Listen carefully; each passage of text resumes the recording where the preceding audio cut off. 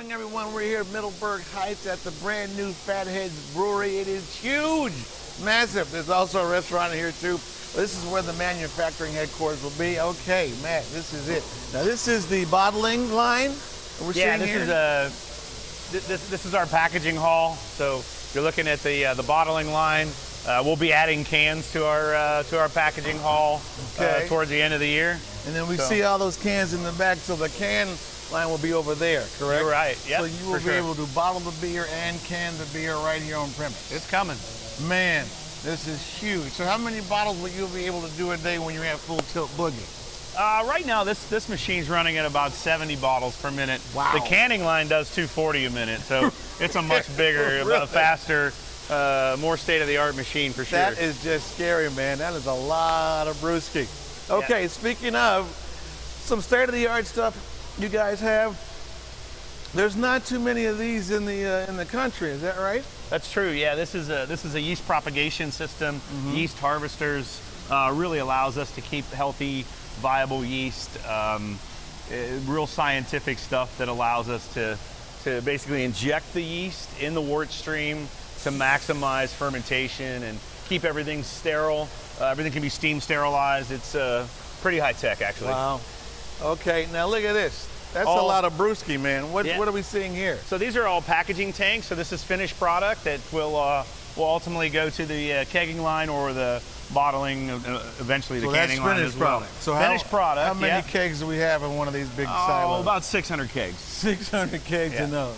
Yeah. Wow, that's a lot. I see Holly Jolly Christmas over there. Oh You yeah, that's a that strong going. seasonal beer for yes, us. It Yep. is. Now we're coming to one of your little favorite parts of the uh, facility, right?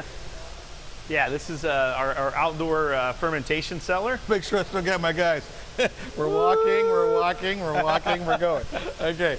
Uh, yeah. So talk about this. Not too many people get to see this. This is this is eight 440 barrel fermenters. So we've really left the building actually. Okay. So the tanks are, are uh, towering above us outside. Wow. So these are all uh, jacketed tanks that are all be uh, climate controlled, and uh, again, these hold about 800 kegs of beer. 800. And these are the tanks people see from the freeway, right? That's right. Yeah. And these hold 800 kegs each. Yes. Yeah. Wow. Yeah. Just this, just these eight tanks or this particular cellar uh, doubled our capacity. Wow, that is amazing. Just this alone. Yep. So, you guys, uh, about 15 beers you'll have? Yeah, we- yeah, we have three core beers right now, and then we have rotating seasonals. Our Oktoberfest will be out, the uh, Spooky Tooth Pumpkin. So uh, then Christmas, you, you, you know, you, Yeah, know yeah. you know the routine. Yeah, exactly, You're exactly. no stranger, right? no, not at all. And then what you said was interesting. The way you guys have things set up, you kind of have a beer lab where you guys will be able to try different beers and test it on the consumer, see if they like it, see if it Yeah. gets any traction, see Yeah. what you kind of pick it apart. So that'll be neat Yeah, too. little small pilot system, 15 barrel. Give us a great opportunity to really dabble with some unusual ingredients and, and keep keep it fresh and creative for the consumer. Wow, excellent, pretty cool. All right, we're looking at some. That's a lot of room, man.